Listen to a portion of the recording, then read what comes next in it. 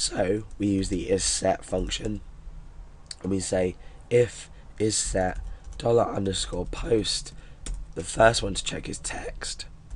Then we use a logical operator and and say if isset dollar underscore post and search for. Remember we're just referencing the variables from here. And we use another and uh, logical operator to now search uh, or check sorry if the replace with is set. Okay so now we need to check whether users have actually typed any data in. This line here will check or this statement in here will check whether the form has been submitted. If that evaluates to true we can uh, start to check if the uh, data is empty or not. So um, before we do that actually we can actually create a shorthand way of using these variables. And this must be done inside this if statement because if we try to create a variable first and these can't actually be found we're going to end up getting an undefined index error. So text equals dollar underscore post text. If you're unfamiliar with this uh, terminology here if you go back and look at the post and get tutorials you'll understand what we're actually doing here. We're taking data from the form and putting it into this uh, these uh, variables here. And then we want search equals dollar underscore post search for. Oh, no, it hasn't got an underscore in there. And then we want replace equals dollar underscore post and that is replace with so let's just echo these variables out to make sure that they uh, that everything's working up until now. These will be with no spaces in between. So if I just put one in there, two in there, and three in there, that's a really good way to check. Uh, because if we click find and replace, we can see that one, two, and three have both been submitted through. We've checked for the form submission. If we click it and the form hasn't submitted, nothing happens. But if we do, we return this data. So let's get rid of that, that, and that. Now what we can do is check whether they have actually typed anything in.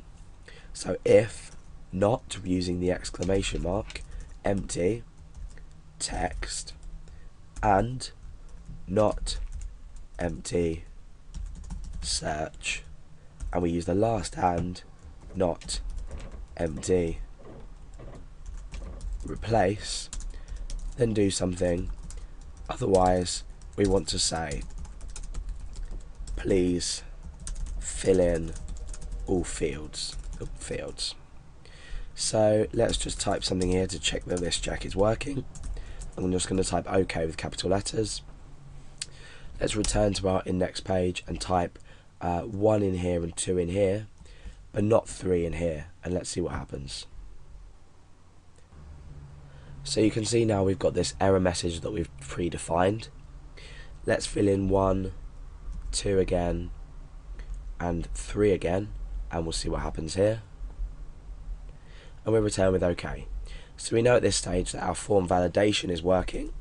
So inside here, we can write the code that is actually going to process and return this. So let's create a bit of space in here for ourselves.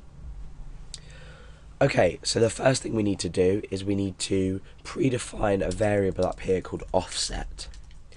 And this is important with the substring function because we're once we find an instance of a word inside our string, the offset is where we're going to search from um, once we've found one. For example, we may have the cat sat on the cat if we want to search for cat and replace it with say dog or monkey as I used in my last example it's gonna it's gonna find cat here and it's gonna make the replacement.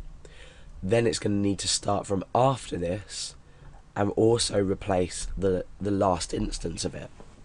And our while loop is going to help us ensure that we only loop through this string until no more values have been found that have been specified here. So that's what's going to happen. Now let's do it. So let's create our while loop. Remember, a while loop always performs this check going into the loop as opposed to a do while loop, which will search for the condition at the end of the loop. So, we need to say while substring, I'm just calling this, uh, giving this a func my, my um, variable name substring, while substring equals substring, so now we're making use of the function inside this while loop, substring will return 0 if it can't find anything.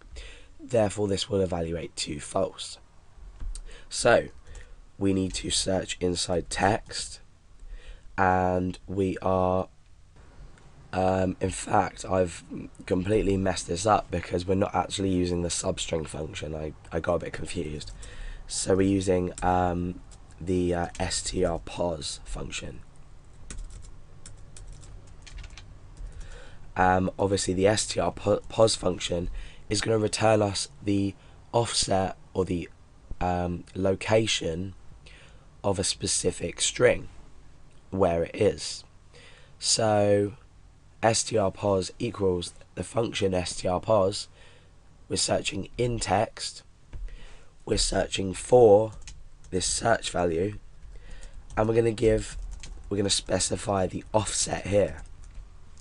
Now, because the offset originally starts um, at zero, we're searching from the start of this text variable, which equates to this text here. What we're then doing is searching for what we've specified in the form here. And then when it reaches, uh, let's say we were searching for cat inside the cat sat on the mat, when it reaches the word cat and finds it, this strpos variable here will be equal to the location. Then what we can do with the location is we can say, well, I want this plus the amount of characters in our search term.